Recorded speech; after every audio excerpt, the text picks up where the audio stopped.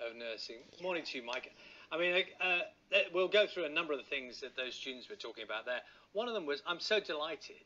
They were saying it out loud, feeling proud of what they have achieved, what they've been required to do, and what they've done. Uh, you must really share that. Yeah, morning, Charlie. I mean, uh, what a fantastic report, actually, um, watching that with you there. The whole nation should be proud of our student nurses. Um, I think that really showed the, the, the challenges they face, the, the real life situations that our student nurses face every day, and, and the fact that, that so many of our student nurses stepped forward, they, they moved into the workforce at very short notice. Uh, and delivered care to, to all our loved ones throughout the pandemic. We, we really, it is a really special thing that we should be proud of. Can you do a sort of compare and contrast for us, Mike, as to, uh, you know, how how different their experience is and has been from their predecessors. Yeah, so I think it's important to, to note that all student nurses are frontline throughout their throughout their course of study. Um, so so what's different this time in the last year is that obviously we had this pandemic that no one knew really knew much about at the start. Um, we didn't know what the risks were, and, and our workforce very quickly, our established workforce got stretched. Um, so students were asked to become part of the NHS workforce to take on short-term employed contracts so they could support that workforce. Um, so there were mixed. I think there were mixed experiences. I think a lot of students gained a lot from it. Certainly, we as a population gained from it because of the support they gave, um, the, the, care they were able to deliver. Um, but perhaps at times some of their learning experience has, uh, has been compromised for some students. But uh, there'll be a lot of learning for everyone from this. But um, the main difference was, was they were asked step forward to be paid as part of the NHS workforce. And Mike, you saw that as other people watching it too. One of the things that jumped out at me was uh, the sentiment that they very honestly, a number of them very honestly put out there, is the realities of what it was like not being able to see their own family, not to catch up with brothers, sisters, mums and dads, not be able to go home for fear. As and I, th- I think one of them said, not worried about myself. I was worried about my risk to my family, and th- there are real concerns about how this will have affected them.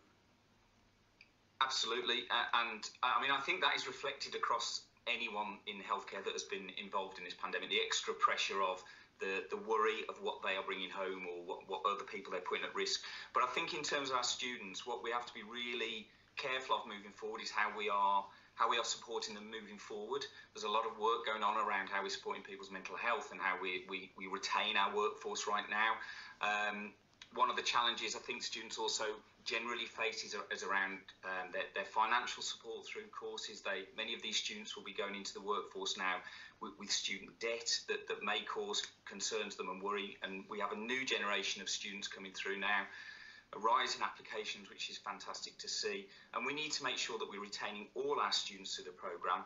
But you're right, that report highlighted really, really well in just honest voices about the, the additional strains and stress that, that, that people and our, and our students face through the pandemic. Are you confident that, that they have people to go to? I don't know what systems are in place, especially with tra- trainees. They've not spent the time on the wards. They may well be younger, of course, not all. But are you confident that, that you know there are people there for them?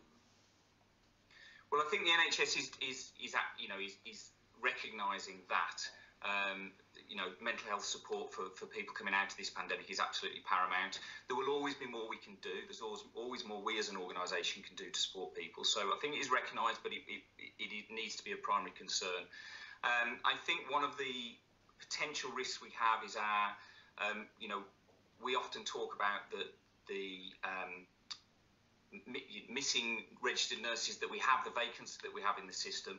We need registered nurses to support our student nurses. So whilst we support our students, we also have to support our current workforce to ensure that we retain all of those people going forward so that so that they are there to educate, to support and help our students learn moving forward. And can I just ask you a final thought, Mike? I mean, I know you talked about the, the numbers of, of potential recruits coming forward. I mean, that's a testament to something else, isn't it? Uh, it's character of, of people looking in and going, do you know what? I, I would want to be part of that, no matter how challenging. We all are well aware of that now. There are people who still want to step forward and be part of that.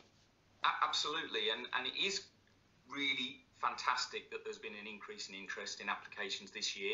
It's it's got us back to where we were about four or five years ago. Um, but for whatever reason, it's fantastic. We've, I think people have really seen the true nature of nursing this year. Um, they've seen that it is an advanced, skilled, um, highly responsible role um, that maybe has burst a few myths um, over the last year. Um, and you know, we we absolutely to seize this moment.